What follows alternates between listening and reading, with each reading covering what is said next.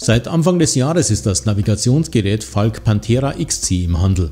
Es richtet sich an Mountainbiker und ist mit entsprechenden Karten bestückt.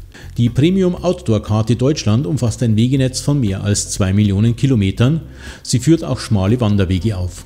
Außerdem sind zahlreiche Sonderziele wie Berghütten oder Fahrradhändler gelistet. Dazu kommt eine Basiskarte Plus für 25 Länder Europas. Sie ist wie die Premium-Karte routingfähig. Das Gerät zeichnet Routen auf, kann aufgezeichneten Routen folgen und schlägt verschiedene Strecken zu einem ausgewählten Ziel zur Auswahl vor. Über die Funktion Route ziehen kann man Strecken nach eigenen Vorstellungen verändern. Außerdem lässt sich das Falk Pantera XC als Trainingscomputer nutzen. Via ANT Plus kann sich das Gerät mit entsprechenden Sensoren verbinden.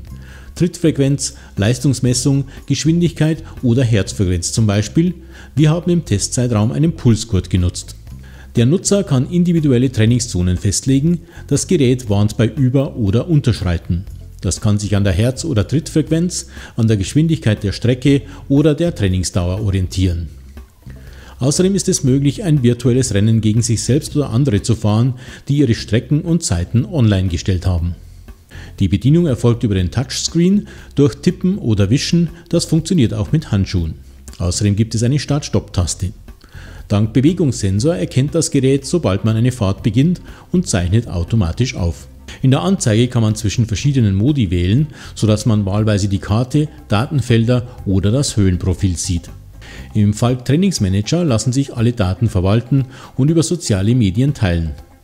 Wir konnten ihn leider nicht ausprobieren, da er unter Mac OS X nicht läuft. Die Verbindung von Rechner und Falk erfolgt über ein USB-Kabel, mit dem das Gerät auch geladen wird. Zum Lieferumfang gehört ein Fahrradhalter mit zwei verschiedenen Passstücken aus Gummi. Mit zwei Kabelbindern wird der Halter am Lenker befestigt, das hält bei ordentlicher Montage gut. Nur bei einem glatten Carbonlenker, der sich stark verjüngt, wanderten Halter und Pantera XC im Wurzeltrail einmal nach unten. Wegen der vorgegebenen Montageöffnungen für die Kabelbinder kann der Halter nicht am Vorbau montiert werden. Hier wären zusätzliche Öffnungen gut.